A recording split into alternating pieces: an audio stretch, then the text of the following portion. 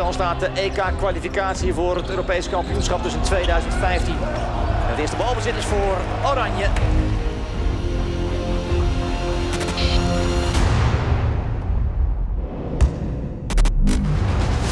Deze jongens vechten als een leeuw.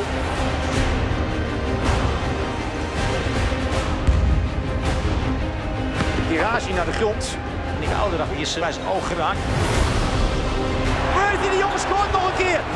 Trillen op de stoel, want ja, die kan zo belangrijk zijn voor het Nederlands basketbal. Schaftenaar, Schaftenaar. Voet de paas. Ze flikken het, ze flikken het. Nederland naar het Europees kampioenschap basketbal in 2015. Tegen alle klippen tegen alle stormen in, tegen alle winden in. Geweldig gedaan.